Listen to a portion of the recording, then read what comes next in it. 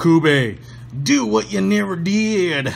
I really like these knives, but this is going to be in black. And as you can see here, it's the uh, G10 material, and it has like this kind of wave pattern here, and makes for a really nice grippy surface, that's for sure. I think four and a half inches probably, uh, closed like this, and nice weight, nice solid feel, uh, serious stainless steel rivets and hardware, stainless steel construction without, throughout.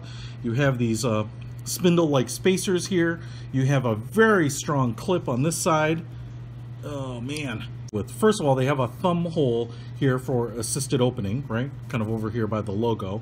And I've maybe mentioned this before, but the cool thing about this hole right here is that it has a nice beveled edge, so it's not a sharp ridge when you're putting your thumb in it. And then also along the spine, the dorsal part of the, the blade, a rounded edge. So very smooth, almost polished, and uh, again, no real sharp edges, which can be, you know, uncomfortable, can kind of tear up bags and pockets and things like that. Flip it open with your thumb. Oh, look at that. And it's just such a smooth action on those Kubeys. But then you also have the assisted switch right there, some serrations and serrations here. So when it is open, you have a place to put your thumb. And then this hole to get into that uh, keyhole there is also uh, a place to kind of put your index finger.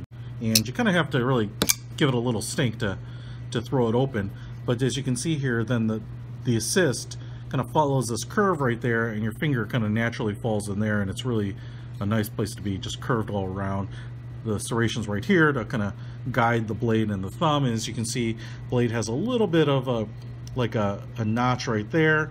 You know, very, very sharp, polished blade up here, thinned out at the top. Locking blade right there. There's no wiggle. It's uh, as soon as that blade is in the full position, that lock falls into place. Man, good knives inexpensive knives. You know, this right now is my go-to knife.